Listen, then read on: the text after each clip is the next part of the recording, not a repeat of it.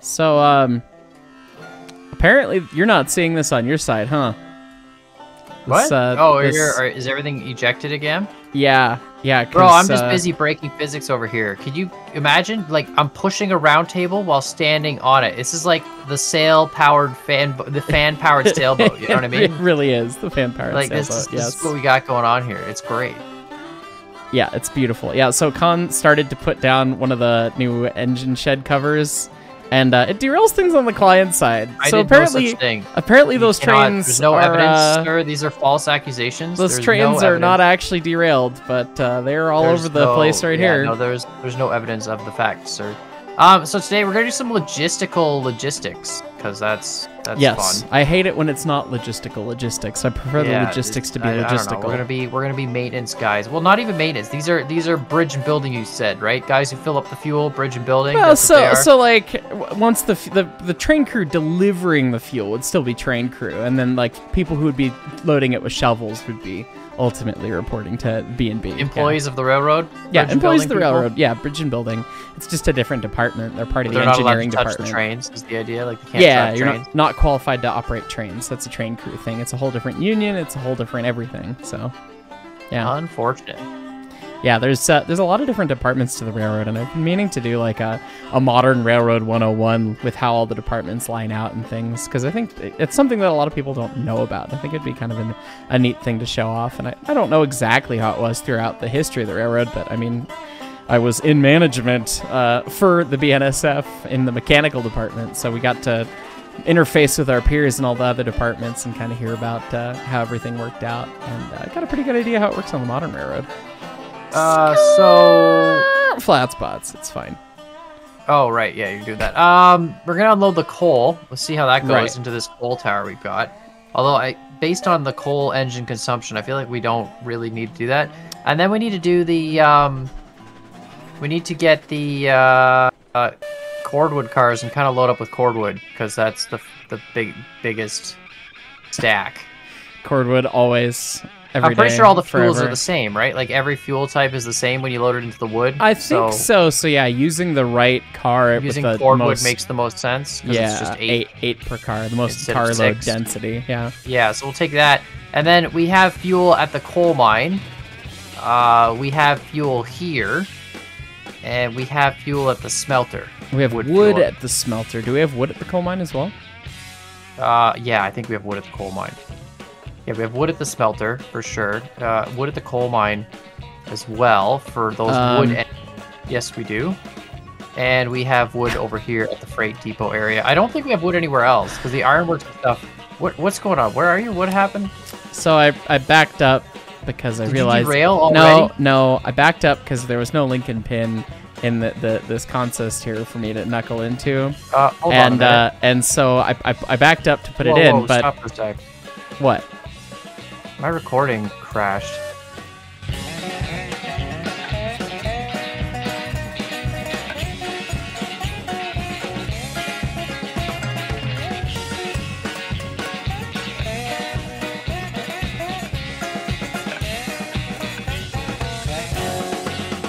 All right, let's try this again.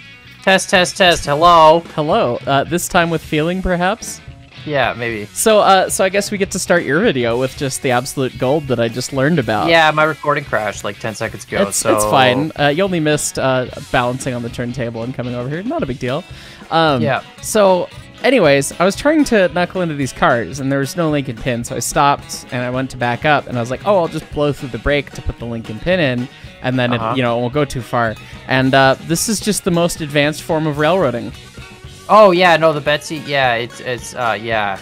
This is um. My immersion is my immersion is not. It, it yeah, turns no, out it's- that it's uh, it's uh, I you can do that with even... the gear trains too, I think, and um, one of the other ones I was doing that with as well. Oh, the Class 48, you can do that with. Yeah. This uh, this kills the heist. I am dead inside now. Well, just you know, it's it's you just don't think about it too much.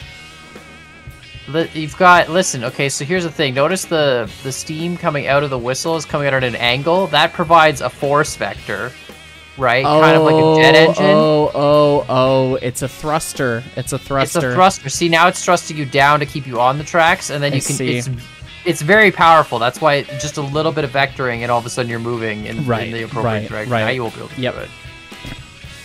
I'm gonna undo this break because you probably can't move at all. Anyway, today, uh, what we're doing because uh, you know video crashed. Uh, we're professionals. Um, we're gonna back this up, and we're going to. You might as well start backing it up. I'm trying, Con. Load up. Load up. Oh, is it? You really can't. Is there another Really? break on somewhere? Probably. I'm gonna go check, I guess. Uh, but anyway, yeah, we're gonna load up the coal tower with coal and see how that goes. Um, because we have coal here. Oh, I just put that brake on. Whoops. Yeah, no, you're Bruh. good. Do we You're need all these no cars? Yeah, we're gonna we're gonna load them all. Why not, right? See Well, it, only takes 20, right? It- that's what it says on the one side, but, But we it don't says we don't know. I guess we don't know. I guess we could bring them all We, we have to find out. We're gonna do them like two at a time. Then we'll see what happens. Uh oh yeah, this break was on. Okay, you're good. No breaks. anyway, we're gonna load up all these coal cars, and then we're gonna go get some cordwood, because that's everyone's favorite activity. And we're gonna deliver it to the various places we have wood fire depots. So we've got one here, we've got one at the smelter, and we've got one at the coal mine. Um, so I think we'll probably just we could probably just split the train in half at the logging camp, and then go in two different directions. Yeah, that Uh, seems that makes sense. Cause yeah, what smelter, coal mine, and here. Yeah. Yeah, and the coal mine. Well, I guess we could just go past the smelter to the coal mine. Couldn't we go up to 10% like idiots? Yeah, and then and then one over here. I mean, you're only. You're, I mean, we're doing firewood, so you don't need to have like a stupid big train. It's That's true. We'd only be bringing like three cars to the coal mine, to be honest. Yeah, like you don't. We don't need that much firewood Because we haven't, the we haven't even the used like hardly any of the firewood anyway. So you know. The smelter firewood's been used a bit. I'm pretty sure it stores 32, which would be four cars per. That would be four cars per. Yeah, so you just you just bring four. You know, load up Yeah. twelve. Four come here. Four to the smelter. Four to the coal mine. yeah, I honestly don't know how many and, we uh, have. I and we're- have 12, we're right? gonna we're gonna learn how we load the uh, the coal tipple here. So, yeah, no, uh, this is gonna be okay. So, uh, oh, you went too far. Oh, it's fine. Where am I going? Wh- Why am Uh, I? just keep going back. Actually, I'm gonna we're gonna do this. what, what were you uh, planning on doing? I don't know. Well, I'm gonna pull. I was gonna pull you out of one lane and put you back into another, but that's fine. I'm gonna shunt you onto the main. So you're gonna go forward onto the main, like onto the not the main, but the the lead off track here, whatever. Okay. And then I'll I'll unpin you two cars because you can't fit all eight down the siding. okay. You're, you're I, fine. I don't got worry. momentum for centuries over here. Yeah, you might as well. You can start going forward now. I've been there, been there, done that, friendo. Okay, perfect. No problem. Glad we had a job Betsy briefing would before not this. be the engine you'd use for this. I don't know. It's just maybe. Well, I mean, Betsy would be good for switching like this, but uh, yeah, the the cars are definitely showing Betsy uh, what's up. Yeah, my so- thought. Well, it, my only thought was the coal tipple here. It um, it has a relatively small lead track on it because it interferes with our round table operations. So I just wanted Right. to. I always call it a round table because I'm kind of con- combining the you know turntable roundhouse situation and Right, and it just makes me think of Camelot every yeah, single time. we'll build a castle once we actually get like aesthetic building stuff. the like, Knights you know, like the Round Table. building brick. Yes, very good. make this into a giant castle.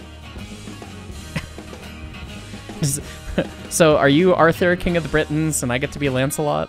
Is that how that works? Uh, sure. I was thinking, what's that one, Sir Robin the Brave? You know, he that- bravely that- ran away. Yes, yeah, that is Sir that, Robin. that kind of that was kind of the vibe I was getting, to be honest. But Oh, really? Okay. For you? Yeah, Because you you know. uh, you don't feel like sending it everywhere? well, you know, yeah, yeah, I don't. I now all I'm picturing in my head is that Betsy is the killer rabbit and flies across the map to murder people. I It really is wish the you could- rabbit. I really wish you could paint Betsy. Honestly, like, can you imagine if we could like race porters with no speed limit, and you know and have, different colors? flames and stripes on the side. Yeah, exactly. Like, uh, like put flames in the boat. I'm telling you, Fast and Furious, man. Dude, we're, we're still on that. Ra- rail, rail fast, rail furious. You know? Chew fast, chew furious, bro. Yeah. Someone someone sent that in my comments and I was like, yeah, that's Chew, chew fast, chew, chew furious. fast, Yeah. chew furious. Yeah. Yeah. no, that's for sure. But that's So- gotta be the sequel, right? Because it's right. like, Right, yeah, I guess we got to have the first one, which is something else. yeah. Oh man. Uh, you uh, okay. I I'm I'm trying. Okay, I'm I using. I don't know how this works. We just load into the coal tipple, like as you go forward a little bit. I don't. Uh, it's supposed to be a bottom. What are the dump. numbers? The numbers. It's automated. I don't know. All right, it says zero of twenty. You know, let's just let's just load in this direction. See what happens. Okay. I I pressed it. Is it? Is it? Does it work? It's not. Is it working? It's not. It's not. oh, it's not doing do, do, do we do you unload on the wrong side? You unload on the wrong side. You you feed that- you feed the grass. it? You feed the grass the coal. The oh, you put the, going the up. coal on the grass. Yeah. Okay, and so six. Okay, Oh. it had Okay, it's depleting there. yeah. And how many coal How do we have over here? Over here. Oh, literally, it's one to one, dude. This Oh. thing can hold 20 Oh, or like 120. so so does that mean we need six thousand like million of these to fill the Tweetsie's tender? Is that how that works? I don't know, but it's a hundred. We need like at least all eight of these cars need just to put 80 coal in this. It's Yeah. just the elevator can only have 20 at a time. All right, so back up Oh, more, I guess. okay. We'll, we'll That- do all of them in chunks That and is uh, a choice. get this loaded up. I, I'm surprised we load the grass. That's the. Yeah, I I, don't- mean, I don't- it's, I it's thought we were gonna unload the other way, but anyway. That's fine. You know, a coal, coal, counterintuitive to me. um, coal is good for grass. Maybe, probably not. Probably not. Have you seen that place in the states where like there's a coal fire underground that's been burning for like 50 years or something? I have heard about that. Yeah. and it just like completely messes up everything because it's just too much heat everywhere. Like all the ground is hot. Indeed. Yeah. Yeah. I have. that- But that's one of those things. that's like, how does that even happen? Like wasn't it like a coal mine that A caught coal mine fire? that caught something? fire. or something? Yeah, I seem to recall. I've heard this story before, and some somebody right. now in the comments will have the the whole story for us. I'm sure, but If you just stop and kick, these will go right back into the Kicking? hump yard. I want to do some There kicking. Maybe. Huh, they should be. Oh, you didn't line the. You, I did line the switch. How did that switch not? did you line the right switch? There's two switches I'm right so there. mad about this life of mine because I'm riding the rail, That's uh, that's that is the uh, anthem doing extra work Dunk. because the harbor master isn't Uh-oh. here, even though that's boats. Oh my god, we're That's gonna hit really hard. Dunk. Ow. Okay, well, That's back fine. up. Sick. This is great. This is great, man. This is great. We'll, we'll go get the other cars. It's fine. Don't worry about it. All right, let's do one of those uh, quick cut things. Oh, we haven't talked about this. Maintenance of way versus bridge and building guys, right? Right. Employees of the railroad, paid by the railroad. Your whole job is shoveling coal. Well, When a train shows depend- up. It depends on what, like, yeah, what your role is with B and B. But yes, that is one of the roles.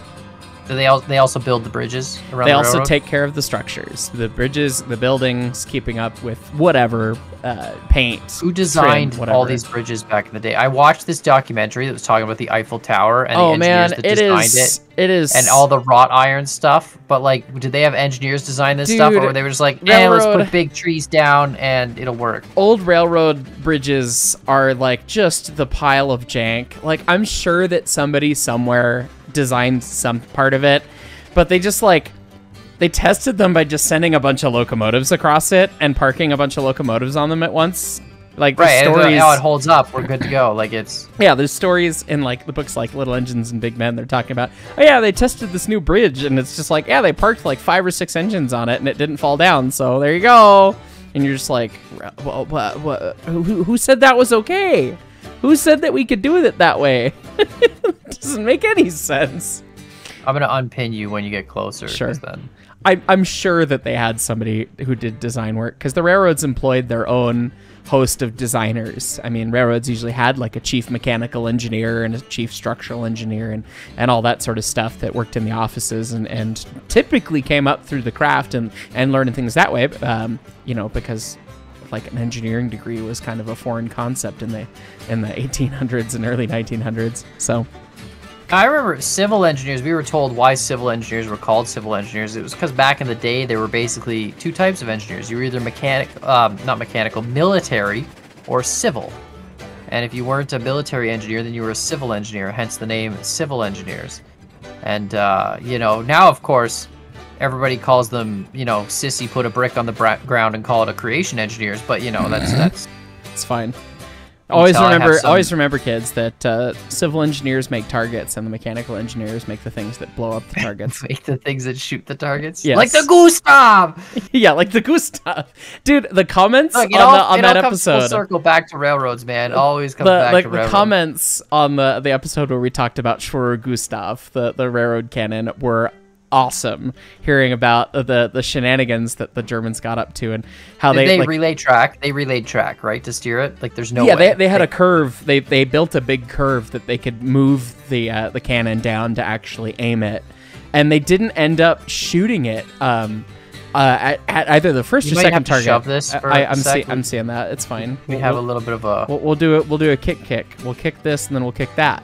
See? I don't know how Okay. this had so much momentum. To be Uh, honest, coal but- is heavy. It's fine. But yeah, they like they didn't end up attacking their first target. And then they like dismantled everything, moved it to to take it to a target on the eastern front.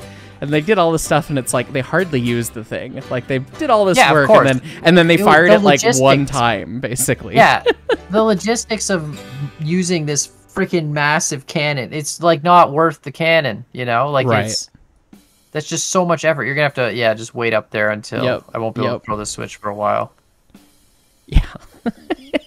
one of the one of the more Yeah. neat pieces of engineering out there for sure, though. yeah. I need the big cannon. Okay, okay. Sure, we're we're with you so far. All right, so I want to be able to shoot from anywhere on a railroad. Okay, no problem. To like the other side of the planet. Yeah, basically. Okay, so we're gonna make some sort of propeller wing situation. No, it's got to be a really big gun. big, Just- big just- thing. Yep. Yeah, no, that's that's brilliant. All right, perfect. Kick those. You're good. Uh, you can't. What are you doing? Where are you going? I was hoping you'd time it better. I, See, I can't flick the switch. I try to flick it. It flicks back, man. You gotta. Well, we were we were experiencing or like strange railroads physics, so I mean, you know, I thought we would just You make know, it this work, isn't but this isn't how you guys run it at the museum. Okay, I understand you do this- like live switching. You know, and you like. this is not how we run things at the museum at all. It's fine. You Our guys wheels must- you guys- so How when you go to switch? Uh, you, uh, uh, I need a pin here. I think. Yeah. Okay. When you go to uh, switch at like the museum, right? Because I'm assuming you have switches for all sorts of other little tracks and we blah do blah a lot of display tracks. Yeah. Right. Um, your switches are like pre-planned, miles ahead of the train. Everything's like like how what kind of a schedule do you guys keep? Do you even have to? Because you're the only. so it's it's kind of your own rail. interesting. Um, it's usually very much so. The day of or the day before a need will be determined. Like, oh yeah, we need to get this car out and bring it down to the shop to be worked on because we got done fast enough with some other work or something, and a spot became available, or it needed to be come down, brought down for an event or something, or last second, like, oh, you know, it'd be neat if we had this car for this thing. Usually that sort of uh, uh, deal that determines the need that we need to go fetch a car out of somewhere um, Right. or or it ends up needing repairs or something or what or whatever what have you that you run into and then it's very much a whoever is in charge on the ground whoever's the head brakeman the lead brakeman whatever uh, is going to come up with the plan. And usually we'll have a briefing beforehand of how it's going to go and, and what the overall plan is. You know okay we need to go grab the caboose 0578 it's buried five cars deep on this one track. So we're going to have to go fish stuff out from on top of it, find a place to stick it, grab the car, put it somewhere else, put it on top of our engine, and then put the other stuff back. Did you guys use a little diesel switcher to do that? We'll almost always use the diesels. Uh, yeah, we'll usually use a center cab switcher that we have. It's a 55 ton uh, center cab four axle switcher, uh, diesel number four for us. It's a it's a nice little workhorse. It's uh, always funny watching it go around the, the museum during uh, train operations because it's geared for industrial operations, and so they'll be going wide open throttle, going up the four percent grade, and they'll be doing like two miles an hour, which is always entertaining. Um, but it's great for switching, and, and we usually use that. But sometimes use the steam engine. Um, and some, oh, Bruh. come on. Bro, how far away was that from the switch? That it, it why? You, you have to be off of the switch model because you know when you throw the points, it affects when you throw stuff the, that's the over switch here. ends here. It ends here. See, now you know how I feel. Oh my god, dude. I can't believe it. That's so ridiculous. I was like, "There's no way I'm not in the clear here." All right, might as You- well you just gotta go be this way and off. shove them both. You got to be off the switch model Dude, that's entirely. insane. That's so far away. Yeah, it, and the switches. I mean, the switches are genuinely oversized in this game because I mean, it, it was uh, the early part of Railroads Online. Kume wasn't sure exactly how the physical right. interaction of trains was going to work, and so he made everything nice and gentle because he wanted to make sure that You're he good, could actually have back up. Can- actual they'll- physics they'll- do things. So, because the the real model of what goes on is basically two little sleds on each train that actually physically interact with the track. Like they actually Right. bump in. They're they're not constrained. It's actually literally just Unreal Engine physics happening, which is why a lot of the uh, the strange things with speed limits and such happen. So. I just realized something too, which is not to put a downer on your day. Uh, you know how when we unload wood to the firewood depot, we make money. Yeah, does it not work We do for not. We do not make money for coal. Well, that's just inconsistent. So when we unload all this coal, we've unloaded, you know, probably a thousand dollars worth of coal and made Yeah, zero dollars. No, it's sixteen hundred bucks. It's two hundred a car. Oh, okay, perfect. Yeah. So sixteen hundred dollars worth of coal. So this will probably be the only time we fill the coal tipple until we actually use it. Um, Yeah, I I, and, I and predict be it's very gonna careful be when you're here. it's gonna be never press months. delete, it's gonna be months before we Yeah. actually use which the coal. Which is good, which is good. But don't ever delete it because then we're because then out. we're out another 1600 sixteen hundred bucks. yeah, oh jeez. Yeah. That's I was hoping we would get paid for it because that would be at least something. Yeah, I mean, it, it's actually honestly realistic that you're not getting paid for it. Like, Yeah, I know that we should shouldn't get paid for the probably be either, how it's like- all of it changes to. Oh my goodness, break. Where are you going? Uh, just, the the wasting, the, U, the UI wasting just stopped responding. sick. You literally just wasted so much coal. I don't think it wasted. The numbers were still going up. Uh, okay. I don't know. It's coming out of your paycheck. Yeah, Well, well, then we're already not getting paid for it.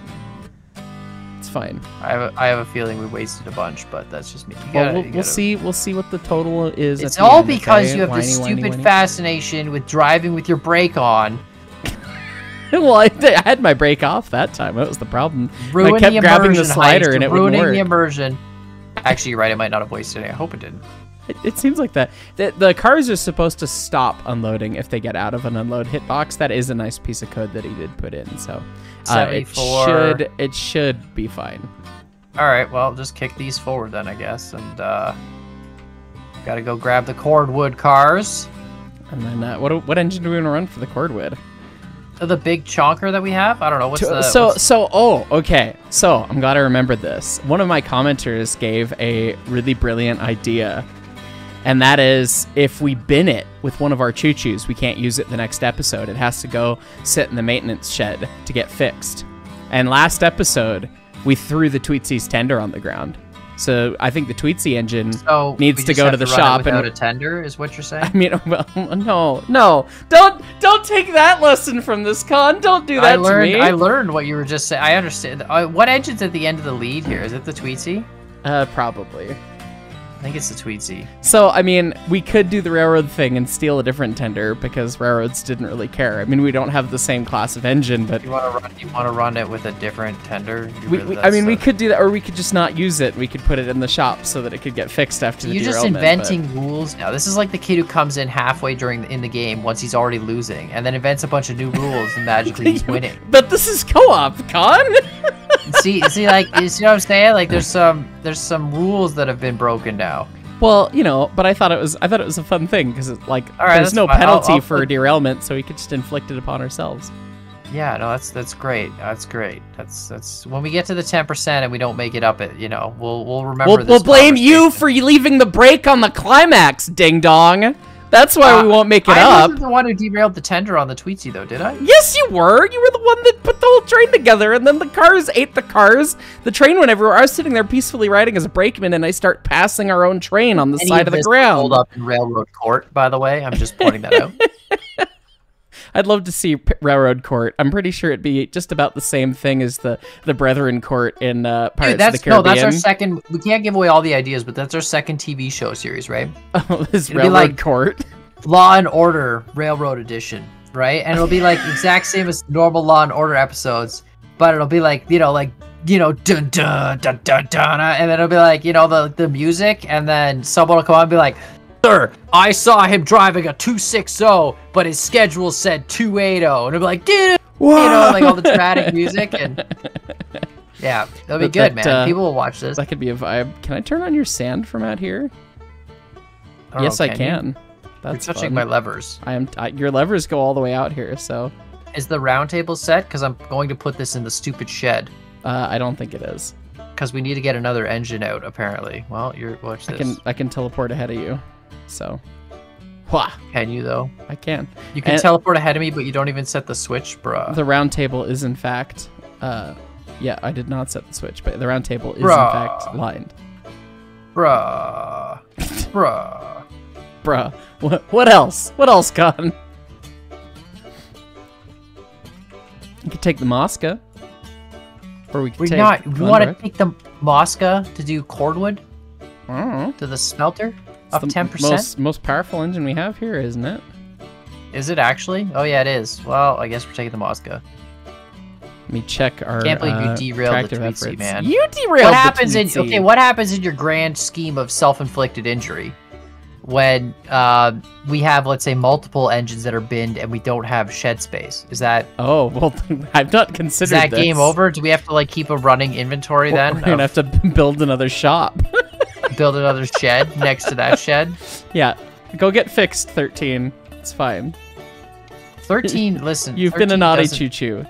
Dunk. Oh, I just derailed it in the shed. Uh, well, I mean that's just. That's, um, you know what? We're just gonna leave it like this. That's perfect. That That's, that's, uh, like it represents it getting fixed. It's you know, uh, yeah, they're they're they've just got a complicated jacking arrangement going on they're to just fix they're the just gonna figure out how to get it back on the track. They're just That's it's like when you jack That's up fine. half your car to change the tire. They're changing this side of the tires right now, Right, so they've got right. it jacked up. You I've, know, I've then- watched uh, I've watched uh, a friend of mine drop a caboose with a jack before. That was that was terrifying. That seems like a terrible. Yeah. oh my well, god! You know, I forgot fine. we had. Look at look at Glenn. Look at this. Look at the Montezuma. It's so Oh, pretty. Zoomy boy. We haven't used the Zoomy boy in a minute. We're gonna have to use him again sometime. Yeah. All right. Taking crazy eight. The li- the little zoom zoom. God dang crazy eight, man. This is ridiculous. Zoom zoom. All right, I'll get this fired up. Uh, you well, you want to take it out? I'll get the cordwood cars dragged out with the Betsy here Oh sure. Yeah. Let me go get the line get that started. here. Can't believe this guy makes up some stupid freaking rules. And now he can't Hey, use the best engine. Great, Just great spent seven grand on that thing, man. well, you were just the like, one that wrecked it, Con. Well, I wrecked it, not realizing that we had rules the next episode. Well, you know, it was Ice. it was actually suggested a bunch of episodes ago, and I totally spaced Oh. it. I was like, that's actually a really cool idea. Like, that's a neat way to add a little flavor, you know, and uh, some amount of repercussion to derailing. So, Does that mean you're gonna drive better? Uh, no, not not at all. Unbelievable. I'm shaking my We- head right now. we, we die like men, even- sir. Yeah. But now there's a consequence, Hyce. There's now consequence. That's fine. I will not go back to running the Montezuma over and over again, just because you destroyed all of our engines. We What if I build? we ha- have what we if, what if- have what if we I put sheds on every one of those roundhouses? Does that mean every engine is perfect all the time? have we wrecked two engines in an episode? I don't know. I don't know if we've wrecked more than one in one episode. We probably have, but not. Does this not apply to than- engine sheds at like the helper station? Do they do those count as repair sheds?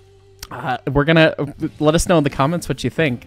We're gonna have to come up with those rules because my thought was this is the big division point. This is where our roundhouse is. This the is only where shed that actually counts. this would be our back shop. Where okay, you've severely ruined your choo choo. Uh, it's got to go to the back shop and go get overhauled. All right. Well, So that would be my thought. when we pull that engine out, I'll delete that shed and remake it and make it red. So then it's the the red shed.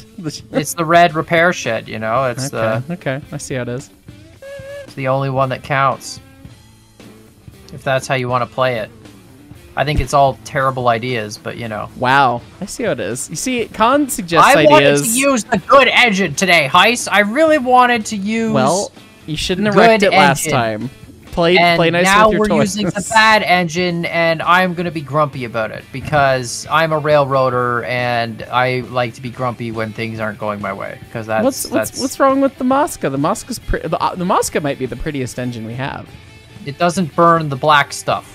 Oh well, I mean that's that's It only burns the wood stuff, and it doesn't go as as powerful, and it has less less chuffs for per choo choo. You know.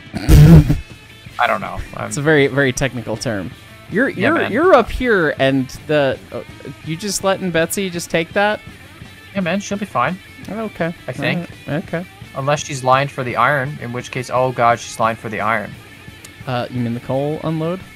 Coal unload. You're all over the place today, bud. She's not gonna be fine, Hyce. She's not gonna be. Hold on.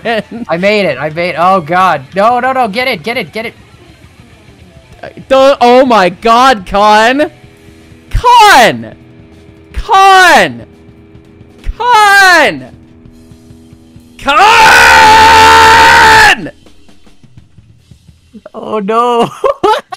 what was the rule on Do you know do you know how many cups we need for this? They didn't say anything about cars. We don't have a car shop, but we could we could build a car shop in honor of you wrecking the entire train. Oh, that was that's that's what happens when um uh you know uh what is it uh, a movable object hits an unstoppable force is that unstoppable yeah, force a- something like that. Yeah. oh man that Uh, is that was that's one, a rough one two, three, four, five, six, seven, seven cars in the dirt. wow that's pretty good I- I'll have you know, I received the crap for the Kenosha's and and the, the P but the Well, last two be fair- wrecks have be been fair, the biggest, do and I they've both been the cup? yours. do I have to pee in the cup though Yes! no one was driving the train Yes, you were the one who opened the throttle and walked away, ding dong. Oh my god! it was it was 12 cars I had to put in notch 8 En- enjoy enjoy your 90 days off, sir. oh okay perfect well I'm gonna just I'm just gonna I'm just gonna yeah, uh, we're Um, gonna we're gonna yeah, it- re-rail this mess, and uh, we'll we'll see you back Yeah. in just a minute. Yeah, we'll be we'll be we'll be fine. Alrighty, Hyce, we're good to go. Highball it. One, Two. Highball. three, four, five, Yeah, count the cars. Make sure you got Six. all of them. seven, eight, nine, ten. How many cordwood cards? Eleven, twelve, We have 18, 13, don't 13. we? fourteen, fifteen, sixteen, seventeen, eighteen. Wow, we have 18. Why did we buy 18 cordwood cards? What were we doing? Uh, cause the smelter's out of cordwood always, and uh, if I recall, it is currently out of cordwood once again. So we yeah, should but we're just probably gonna grab cordwood and, and bring it back here. yeah, and let's and let's our cordwood loads. because we have yeah. to distribute it later, and this is what you would use a yard for. Yeah, yeah. So we bring it back to the central location as the road train, and then And then divest it out into a bunch of little manifest trains. Exactly. Our hopper consist there needs to be squished together at some point, Uh, we'll we'll deal with that. Uh, important question, I guess, because we never really talked about this before. Uh, since we have new rules now with this whole binning train nonsense thing, I gotta get that switch for you. Um, what happens if we bin the train on the road? Oh, that's a good question. Like, are we not allowed? the, the, the the penalty that was discussed by the YouTube viewer, and I'm I'm sorry that I'm forgetting your name, um, was to just ha- not be able to use it the next episode, uh, right, which is but if probably we bin it on the road, painful. I feel like I feel like we're not allowed to use it for the rest of that episode too. I mean, I guess it depends on how hard it's binned. Like, if it just goes off, I think it's fine. But if it's like, Okay. oh god, you rolled down the mountain, good god, okay, maybe drag it back home. That could be fun. Okay. And then, uh, Well- you know, if uh, you know, let us know in the comments, of course, what you think. Like, if we should implement it for cars and railroads stuff. hardcore mode all of a sudden. Hard, Just- hardcore railroads. hardcore. We, we, we want we want uh, you know p- penalties for our for our hubris. Yes. I'm Um, down. I'm down to say that if the train is still mostly on the track, kind of like the one that we left in the shed there, Right. it's like mostly on the track. We're allowed to rerail that. If it's completely off the track, we have to leave it and then come back with some other engine and then drag it. I can I can live by that rule. I can live by that rule. And if we do uh, if we do end up wanting to do car stuff too, we could also add like a rip track and a car shop and I, I and talk about those things. I don't want to. I don't want to do car stuff. Like Yeah, uh, that it, that gets all into these that gets cars- into a lot of a lot of keeping track of a all lot of these things. cars would just be. They would just scrap them. There's no way they would fix them. They would just be. depends would on the era of the railroad. If if these, These were would new, be wooden splinters, sir. There's no way they would have probably they that. you you'd be surprised at what they would have rebuilt. Like Really? Like, It but wouldn't these cars, like, wouldn't the main wooden structural beams in these cars all be just destroyed from the crumpling of It that? might, it mi- they might be, but they might not be. I mean, most of the cars are typically made out of white oak, which is actually pretty strong, uh, and they're pretty significantly sized sills. The that the structural members in the car are usually called the the main sill, side sill, all that sort of stuff that actually builds up the pieces longitudinally, and they're usually like six by eight inch, you know, chunks of oak. And in this sort of application. So they're actually pretty stout. Um, but at the end of the day, it's a piece of wood, so you just replace it in kind with a piece of wood, and you rebuild the car and go on with your life. The trucks, the iron, the bolster, all that stuff is is whatever. Um, and so if these were newer cars, the railroad actually probably would have tried to repair them. Yeah, if they were really screwed up, okay, start over, uh, burn the car down, pick up the iron, and, and do it again. But Who who makes railroad cars modern day and real? And oh goodness, I mean, back uh, because you have locomotive manufacturers, obviously. Right. But locomotive manufacturers, they're not they're not making rail cars too, are they? Um, I, there's probably some that did. Uh, I don't know of any that, like off the top of my head, like the locomotive manufacturers I've heard of. I haven't heard of them making cars.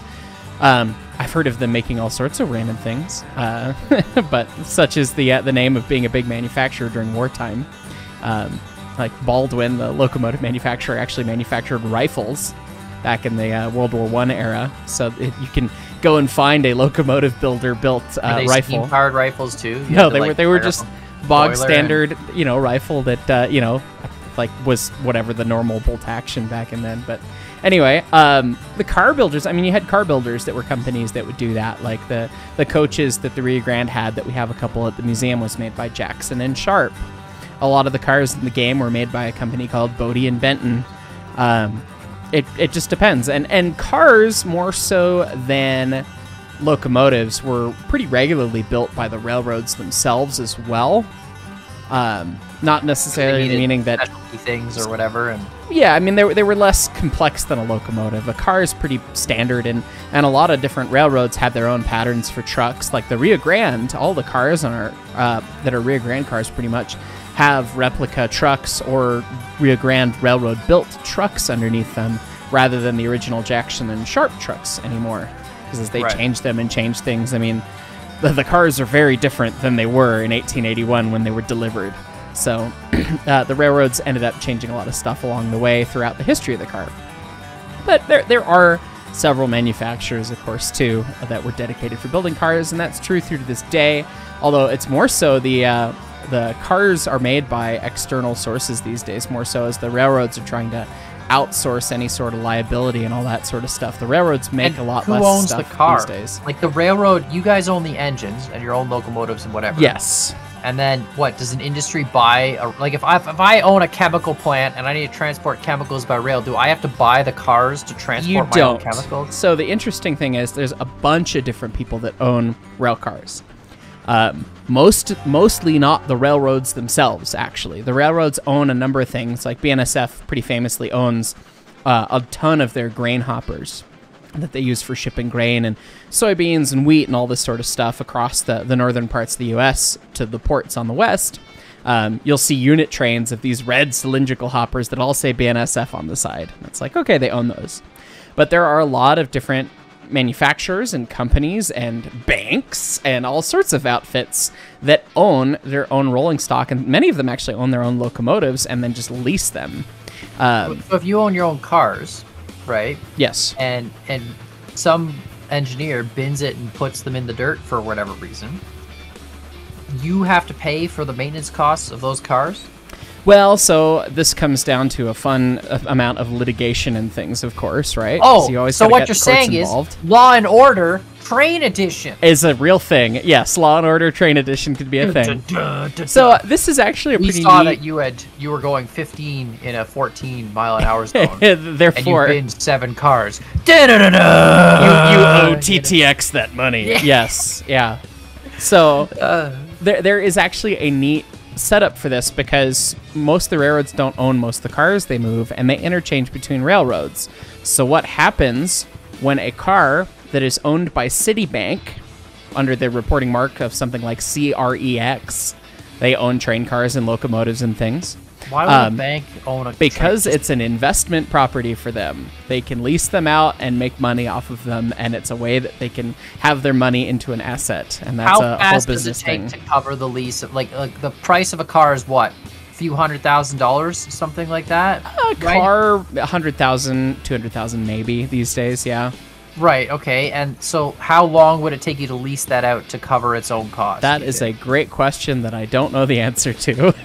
I feel like it would be like at least like ten years, right? Like minimum. well, the cars like the service life of a train car is pretty long 30 40 Right. 50 sometimes even longer than that you know so um, it's definitely possible uh, but anyway say that car derails or it needs work and it's on a union pacific train when the thing breaks and then it gets uh, interchanged over to bnsf and bnsf gets the car and inspects it sees the problem okay well, they bring it to their car shop, they fix whatever it is, and whatever the fix is, the American Association of Railroads, the AAR, has a standardized price for that repair.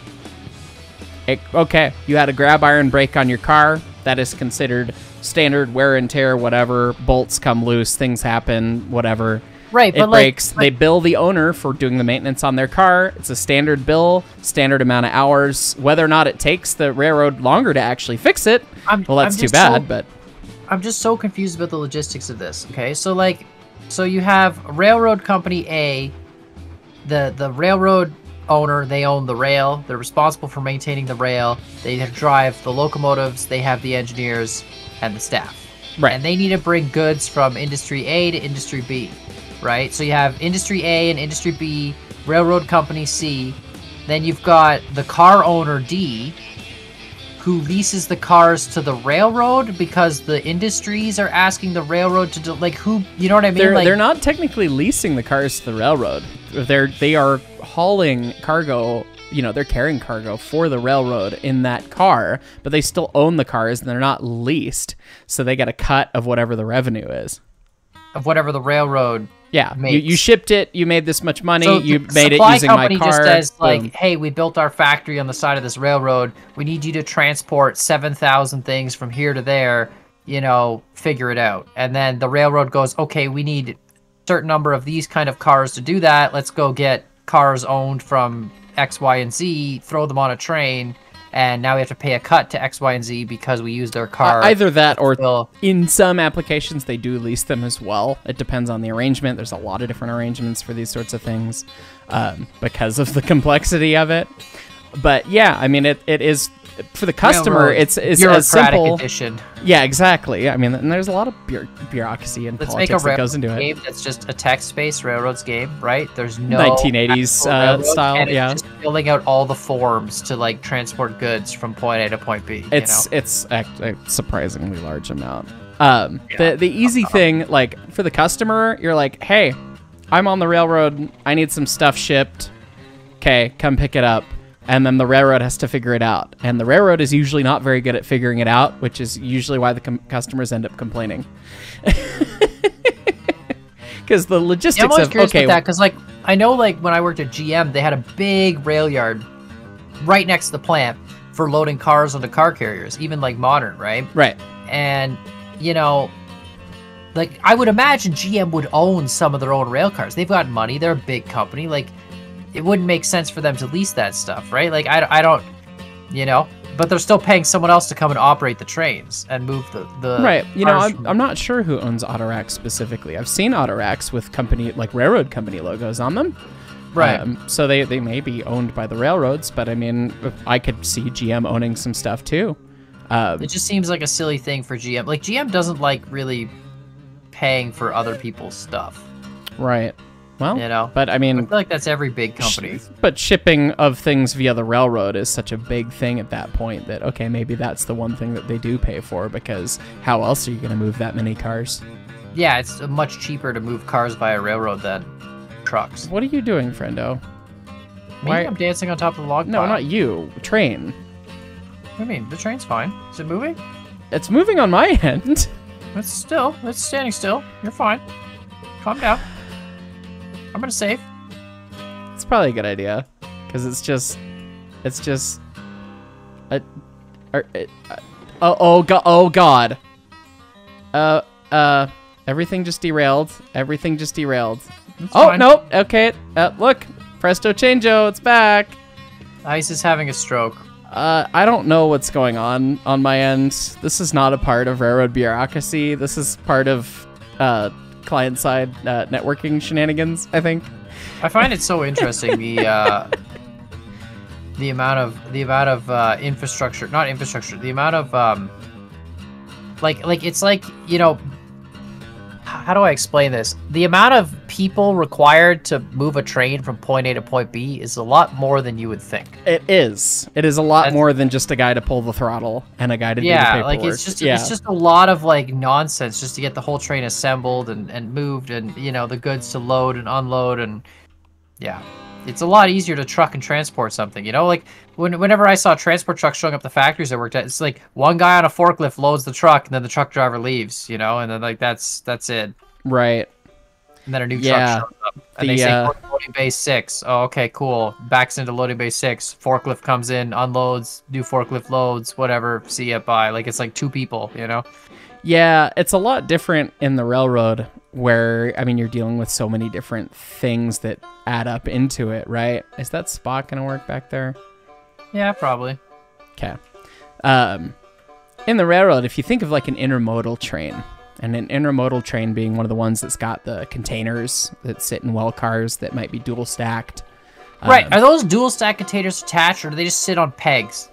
I'm pretty sure they just sit on pegs. They just sit on pegs, right? And their weight is heavy enough to just like Well, there's yeah, no they're, strap. They're stupid heavy, yeah. Yeah, their weight just holds them on the. It's just literally like. I'm pretty racks. sure. You That's know, I would. thought. I wouldn't be surprised if there's some sort of locking mechanism between the two on the pegs, but like I, I've never dealt with the loading of intermodal. Yeah, so. to me they look like they're just sitting on pegs and They do, but there, there might be like a rotary kind of clamp lock. It's not just a gravity thing, but I also wouldn't be surprised if it's just a gravity thing. So, hey, any intermodal workers out there, let us know. But if you think of an intermodal train, runs from Seattle to Chicago. That's one of the most most common routes that I ended up helping protect when I worked for BNSF because that was the the hot commodity. God, you get into peak season, you get around Christmas time. You, you best not be delaying the Z, man. Hey, Oh, where do they get? Good what, God. What port do those containers come off of? Because they're coming off some port. Yeah, the port of Seattle. Oh, it's Seattle. So they come from like overseas to Seattle, Yep. And then there's rail lines that run right up to the port, and the Yep. containers like They they offload crane. they offload with a crane from the ship to uh, the actual pretty much dockyard itself. Then they put them on trucks, uh, which are basically they're not like a real truck, They're, but they're, the, they're the a- a- local dock trucks. the They're local dock like- truck to, to shift around the the container on a skeleton, you know, transfer They don't thing. go straight from crane. They don't go straight from boat to train ever. Like there's a there's, Uh, there's they don't. Th- There's probably a place where that happens because you know it depends, right? That's that's our drinking game at this point. Uh, there's probably a place that happens, but everywhere I've seen, they use it like a, uh, the dock as a capacitor of we're gonna fill it up with these containers and then they'll get doled out to the trains uh, as accordingly because they may not all be going to the same destination and everything, anyways. So, but anyway, they take them off. So you got guys that run the cranes. You got guys that run the skeleton trucks that actually move the, the containers around. There's a special right, term for those. I can't remember what they're called, but anyway, they'll move I, I those know what guys you're talking around. about because they have them at factories too, and I'm trying to think. They're like a lot of them. The ones that I saw are like side cab. Even it's just like yeah, a frame with a yeah, side cab, Exactly. and it it can hook up to an 18 wheeler trailer and just drag around stuff that like it wouldn't go very fast down a road or anything. But I, I can't remember what the name of them is though. Yeah, neither can I. Oh well. Someone in the comments will get it. But uh, those things then, you know, will go take those from the storage location and load them onto trains or put them next to the train for the crane that can go along the rails to then pick up and put on the train cars when it gets there. And only once the train's loaded does the railroad take it. So you got a bunch of people there to make the train get loaded. Uh, So they have their own. They would have their own switching engines for loading up their own train cars and assembling them into a lane. So and then just like derail valley, you show up and go, "Oh, I'm picking up 12 cars from lane six and and getting out of here." Well, it so they're they're usually set up a little bit more expediently these days, where um, and usually it's actually switched out by the actual railroad because these bigger facilities, like you only think about uh, a small facility tending to switch and service itself because they've got special loading requirements. In the case of intermodal. The, the BNSF crew would come in, they would spot the train, and they've got a 5,000 foot long track there, or however long it is, with, you know, 80, 100, 120 cars, or maybe it's 60 and they have to have two tracks they put together to make one train. Um, they leave the cars there, and then the those little rigs will set the containers next to the cars, and the cranes are on tracks that are next to the tracks, and they literally just drive down the length of the train, pick up a container, put it in a car, move to the next car, boom, boom, boom, boom, boom, until the whole that, train's like- loaded. the so the railroad engineer will like show up with his locomotive, and then he'll be sitting there waiting for them to load all this stuff, or is it? so the crew the crew doesn't get up? called till it's loaded so like the Oh, the okay. crew the crew will come in uh they'll bring the empties in they'll or actually it would be loaded and it whatever they bring the loaded train in from the other good, by the way, destination moving up to they spot it the cranes unload it and then the cranes reload it with the new stuff which is a whole process but the engineer's not waiting that whole time engineer pulls in spots the cars and then he's off duty All right, Um, you're good. and then you know it's probably a different engineer and different conductor that comes back when uh, when it's time to get things loaded again. Um, and so then once all that happens, you have the magic dance of train comes in, cranes unload it, skeleton rigs take the the containers, put them wherever for uh, either to go on boats or to go on uh, trucks or wha- whatever it is. Empty well cars get loaded up by the cranes as the, the new containers get staged. Train crew gets called. Train heads out. They grab fresh locomotives from mechanical or from wherever they're uh, they're staged around the yard. We didn't really keep staged consists at mechanical in Seattle because of geometry problems. Uh, so they would grab these built consists that were serviced, ready to go, and start take them over the road. And the crew could run them for 12 hours, and then you needed a new crew, so you'd be doing crew swaps, all this stuff. So by the time you get to Chicago, I mean, you've probably had five, six, maybe seven train crews, depending on, and depending on just the level of service it is. You've probably been serviced by probably 20 different mechanical employees, stopping for fuel, stopping for sand, uh, for crew packs to get reloaded. I, I, you're not supposed to tell people about how you like getting serviced by 20 different mechanical employees. well, I mean, you know, Oh, whoa, whoa, whoa! Don't pull, don't pull. You got it. You got, it, you got, you got more load still. we still, You we're got- still loading. We're not done we're being still loading. serviced. You're, you're jumping the gun there. The thought of being serviced by 20 mechanical. Oh, it got me excited. Crews. Okay. You know, guy- the, guy- the SFS. Have you ever been SFS? Sand fuel serviced, dude. At the at the DSF, the diesel servicing facility. Oh. God. Ah man, I did a whole episode once where I talked about uh, pipe. There was I was I was playing the car racing game Apekist, and uh, we were riding pipe, and I talked about riding pipe the whole time, and people could not keep themselves together in the comments. they were Well, you did that to yourself, Khan. they were very they they were just I didn't understand what was so it was just an innocent pipe riding track, you know, and Well, you know. was just they were all into it. So It was uh, one of those in your window kind of things. I think maybe that uh, yeah, was getting people uh, fired up, is moving up, and then and you know, then it's you're gonna interesting load to me. like, you know, you don't really think about it um, very much. Like, you just kind of, it's, you know, one of the marvels of modern society is just being able to go to a store and pick stuff up. And uh, How's that spot? Yeah, that's good. And uh, you don't think about all the logistics it takes to get the stuff there. It's you a lot. There's a lot on the backside, and it's so interesting. The amount of people in the public that I talk to that don't know anything about trains or they've never How ridden a still- train. you're still moving a little bit. Uh, no. Yes. No. I'm gonna tie a brake here. Oh no, it stopped. Okay. I tied a brake to make it stop. I don't know why it was still rolling. The brake was on on the engine. Anyway, I don't know. um, amount of public and people that have like never been on a train, don't know anything about trains that I run into. It's like it's not a common part of life anymore because nobody travels by train really. Because No, you fly. you know, Amtrak is inconvenient and it takes a long time and it's as expensive yeah, you, as flying. You drive so, or you fly. Yeah, so uh, you know, it doesn't Although really. America would be prime for a high-speed railroad. Just saying. yeah, there's a lot of places it would be really nice to have high speed rail, and they're actually working on some high speed rail projects. Uh, Brightline's doing some cool stuff, so hopefully we start to see some of that stuff. I think we just need to we need to adopt the vacuum tube. Okay, project, Khan, stop. Where we suck people Cease. through No, vacuum tubes like those. this is not. Futurama. It's not fu- Futurama. And we can just we can just send them, you know, vacuum tube, and then it'll be a problem with obesity though because you'll need variable tubing sizes for well, different sizes. I mean, it just means you've got a better vacuum seal, right? Is that is that how that works? yeah, but like uh, that's if you fine. put a really skinny person in like a tube that's like six feet wide, Well, you just you just load them into a sabot, like like it's a oh right, it's a projectile, yeah. capsule, and then Yeah, yeah, like yeah. they'll just wear inflatable fat suits while they go through these. Welcome to Khan's future, everyone. It's Dude, it's be perfect. it is a make, place. We can make the ultimate dystopian society here. You know, That's uh that is a place. It's not a good place, but it is a place. you ever you ever heard of the multiverse theory? You know, the multiverse Yes. universe, and Yeah, like, yeah. So Ka- Khan's section. there's a the universe like is, uh, that, man. There's a universe out there where anything you could dream of exists, right? Uh, so that- that's yes. that is a thing. Hero Head too, by the way.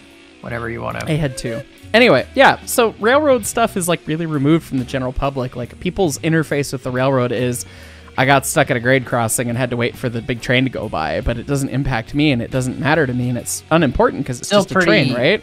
Pretty global though in terms of how much freight gets transported Right. by rail every year. So, uh, is that spot good? You can go ahead a little bit, but it'll Okay. probably still work anyway. Okay, I'll go just a yeah, it's still anyway. working anyway. Okay. Um, if you buy something on Amazon Prime in the United States, They lay track right to your door. they lay track they- to right. It's it's a train that delivers it. And you got it's a you got train me. that shows up. Just you, you hear you hear the sound of a GE 7FDL diesel Yeah. engine and sneezing air compressor. And if you're not home, they'll Uh, play the yeah. five time right at your yeah, door. just so right there.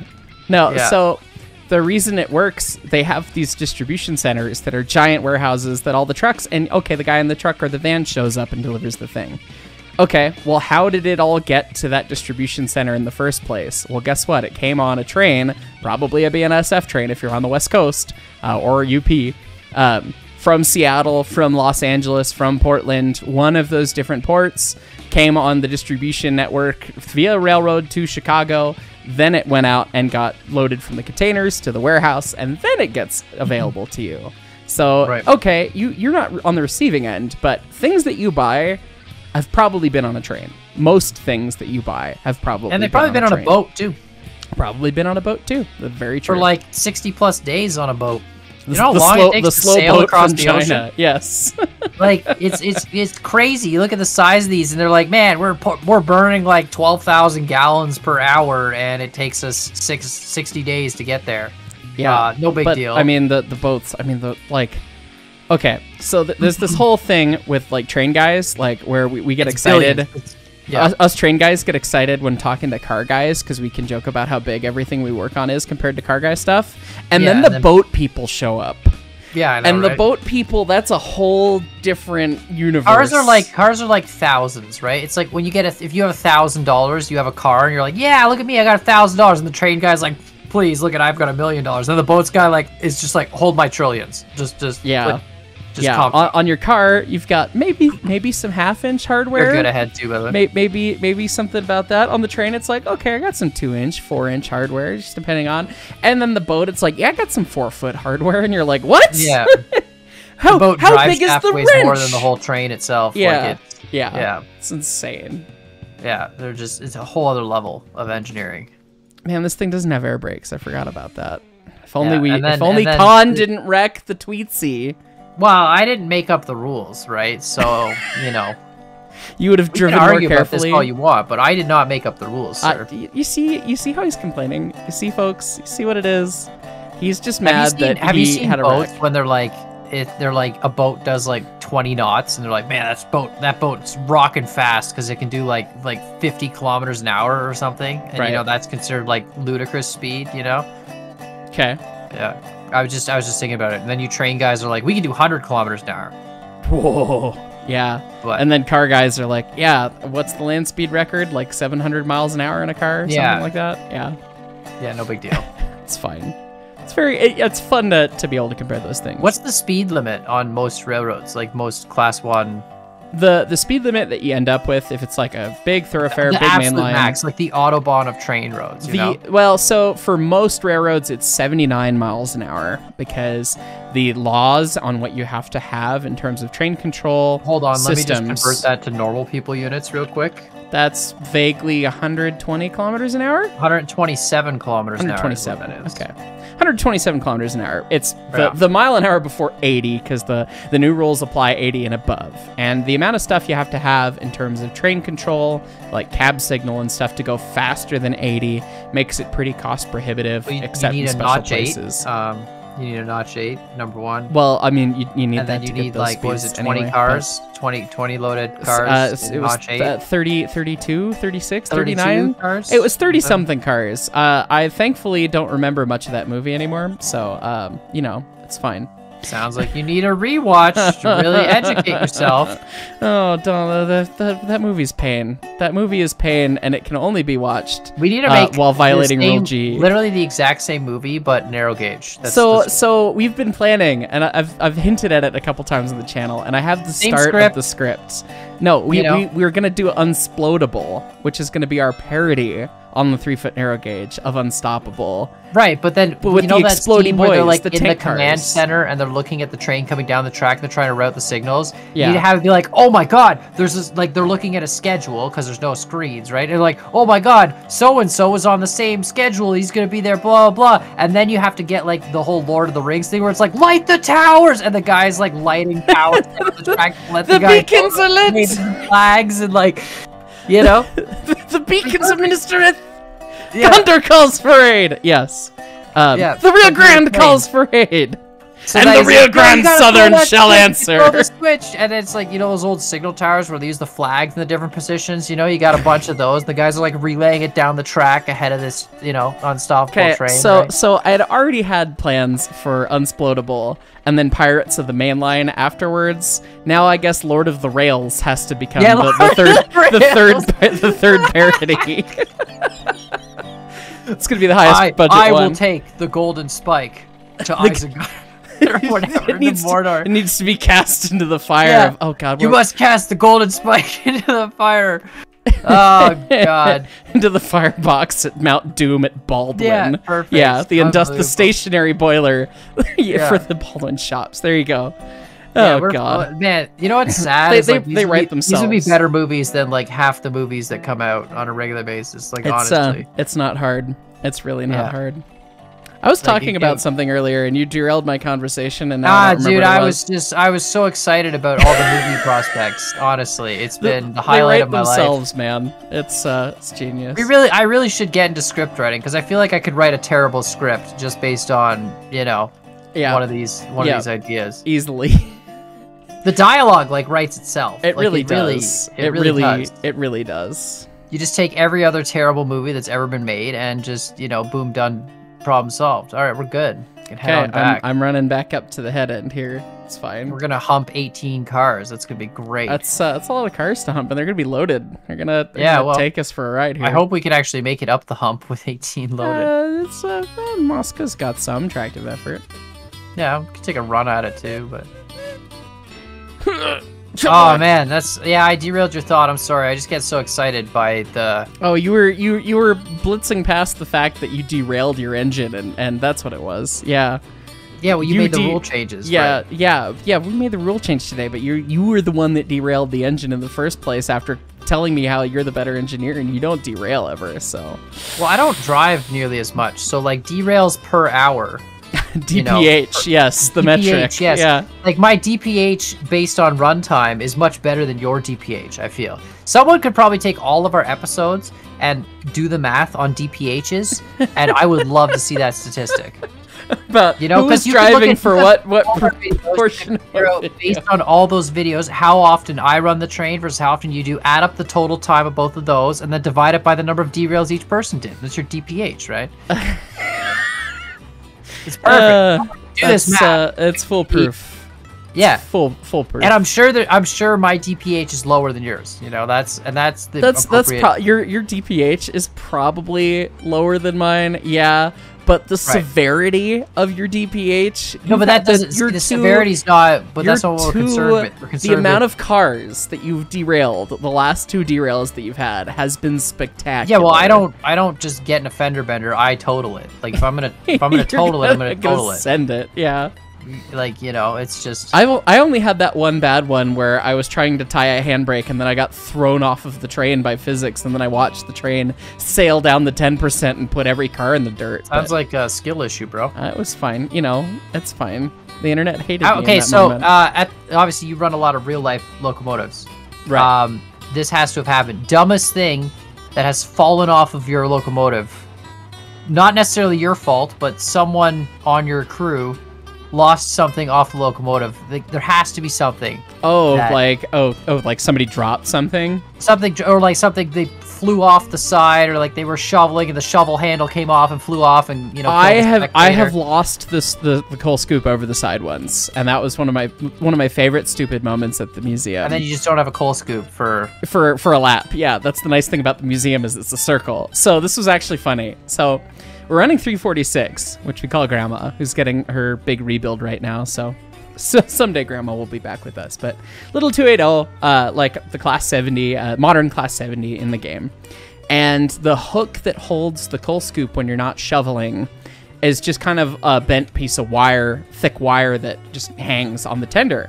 And we went around the curve and something shifted as I was putting the scoop back and I was kind of lazy and kind of like tossing it up there a bit.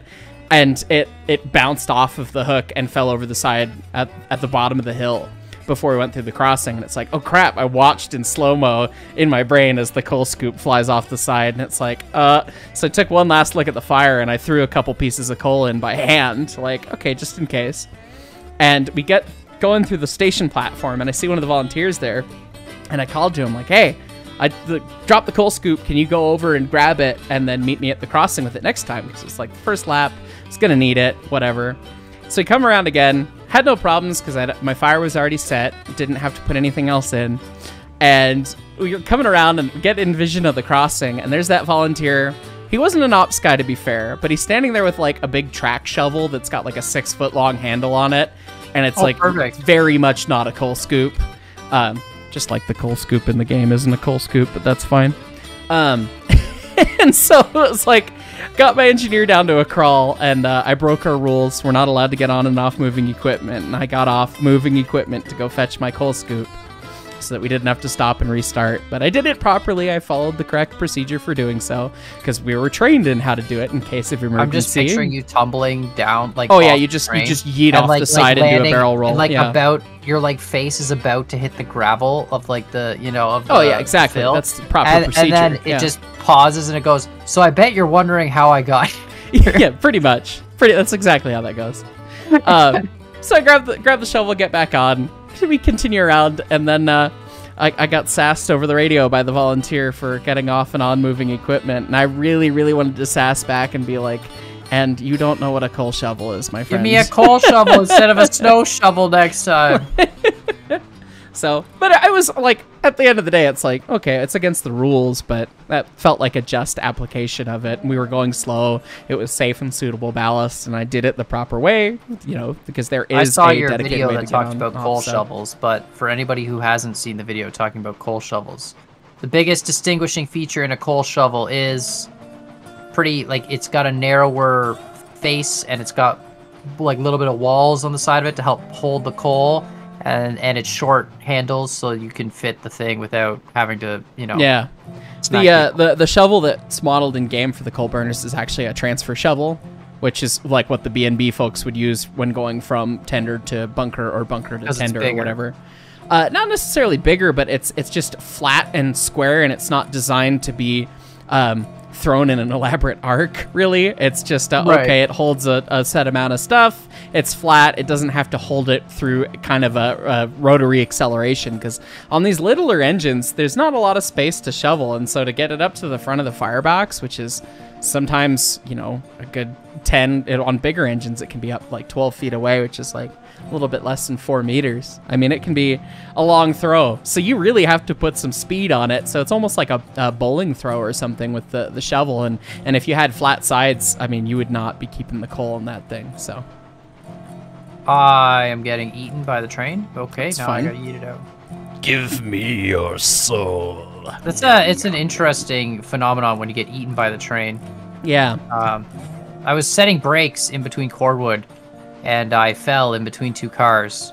you, And, you, you try uh, to prevent kenosha's Since back we're there playing with no consequences against me? now, I guess I'm dead. So I gotta. yeah just- Khan, Khan's not allowed to play next episode I'm not allowed just to be play me next episode because I'm Uh, actually just dead. So. Khan, Khan has been run over, and we're gonna have to have Khan Junior uh, moving Yeah. forward. Yeah.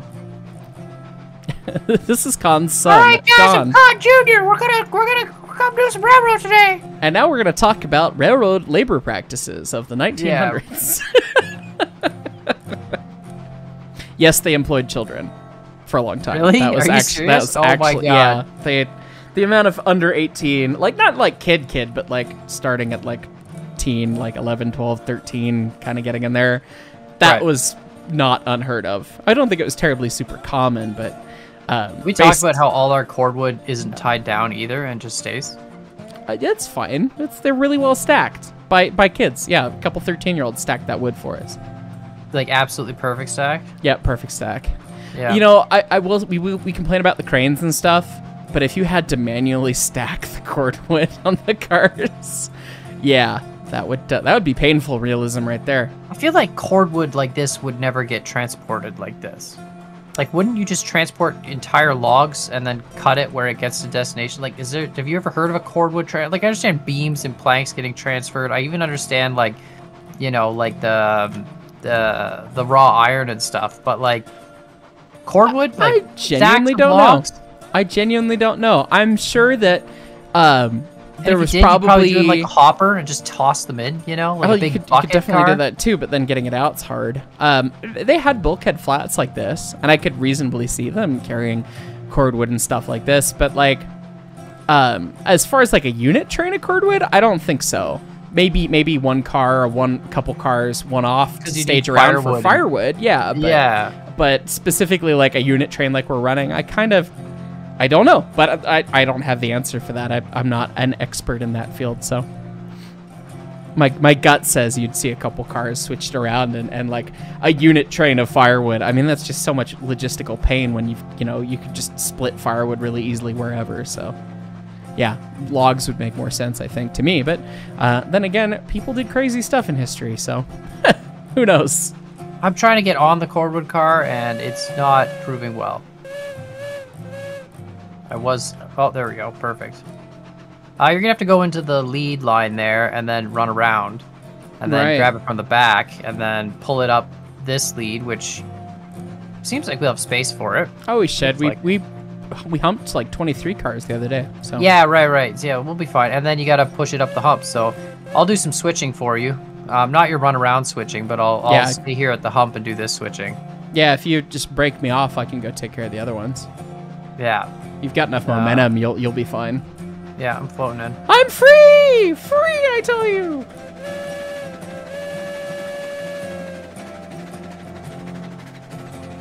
Crazy, crazy, crazy, crazy. That is the name of of my locomotive. Yep.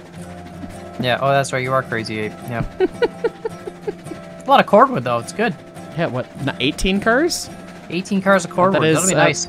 That is a significant And we can distribute it, and we can do go in multiple directions with it. We don't have to go in the same direction. Yeah. So next episode we'll distribute here locally, right? Super easy.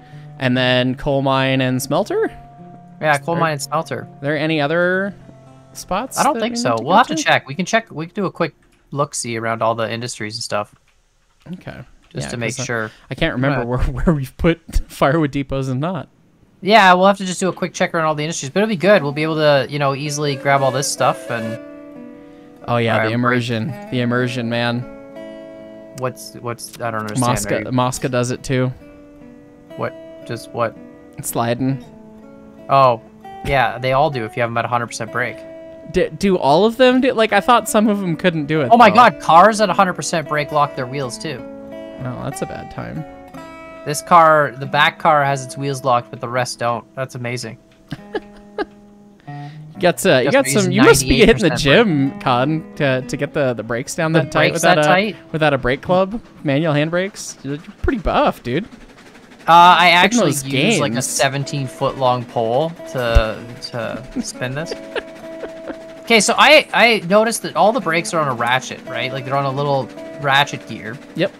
And what you just come along and flick the other end of the ratchet, and it just undoes the whole. Like it would just go completely released if you just flick the ratchet. I mean, you can't really just flick it because the it's it's just a little lever that's the pawl. Uh, it's not Right. sprung in there, so you it's held in by the teeth shape. So you basically have to put a some more pressure on the wheel to like try and tighten it harder, and then you can oh, and then move it out of the way. move it out of the way, and then it'll kind of go really quick. right, but it'll only release because of the chain tension. There's no actual spring load. Correct. Yeah. So it won't necessarily actually release all the way. Although usually, if the brake was applied pretty stoutly, it uh, it does just fine. So That's interesting. Let me put up your rod there, sir. we're in jousting mode. Charge!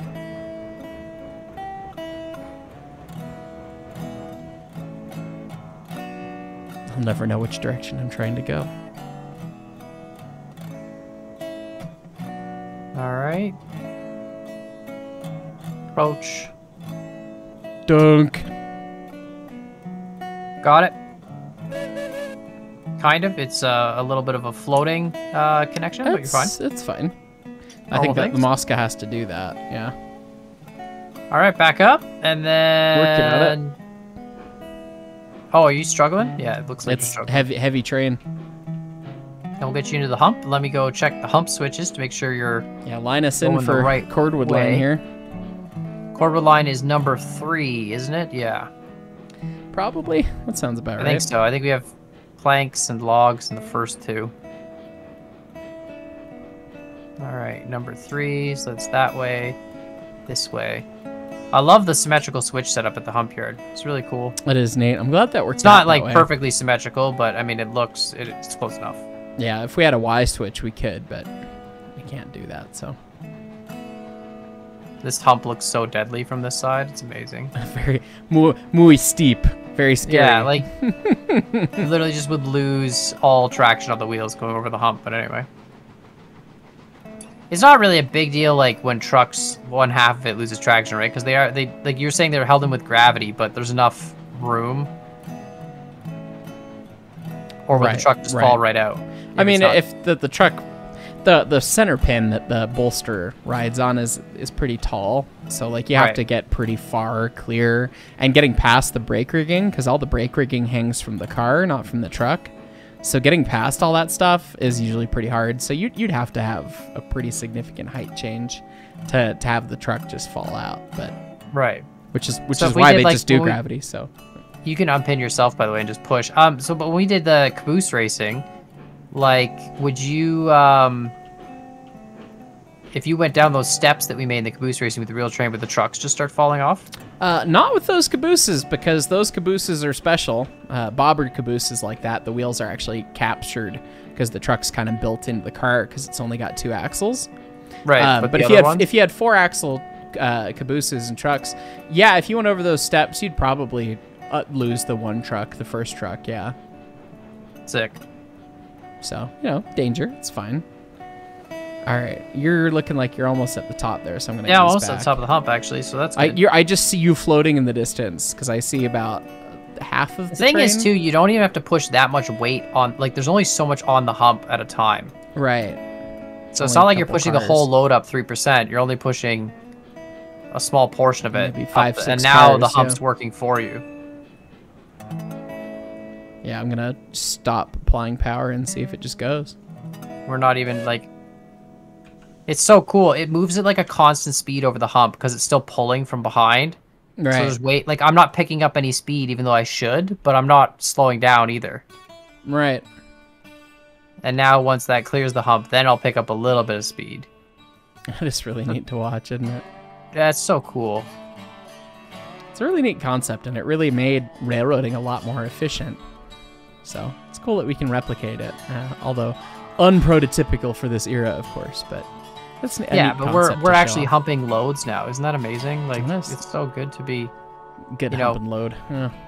humping humping like cargo and not just empties. Yeah, just make sure you don't drop the load when you hump it. So That's true. That's true. Oh god, I don't have a brake handle on this side. I got one on the back here.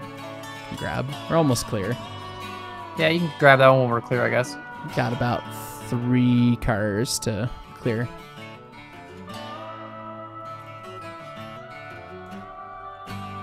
Want to make sure we're not in the foul of the switch because I mean it's pretty, pretty significantly long there. All right, brakes tied. All right, perfect. It may stop eventually. Look at look at look at. Just flat spot that wheel. Yeah, it's fine. It's fine. Awesome. Well, let us know what you guys think in the comments down below. Uh, obviously, we got some cordwood to distribute, which Yep. is nice. Uh, although we don't really need to distribute it, we might just take it to the smelter because we need cordwood at the smelter. Yeah, we'll Uh, we'll have to think about that. You know, maybe like a couple couple cars for firewood. I don't think I've ever fueled up an engine months so far. I haven't actually filled up an engine. like any of our tenders, Yeah. we've we've still been running on the initial wood that came with the purchase of the Yeah, product. I think so- I think Betsy's gotten a couple handfuls of wood. Oh, true. Maybe it, Betsy. Yeah, no, that's that's I think true. I think that's might have- it. Yeah. Yeah. But yeah, let us know what you guys think in the comments down below. Make sure to hit that like button, and the subscribe button, and uh, we'll see you all next time. Laters. Bye.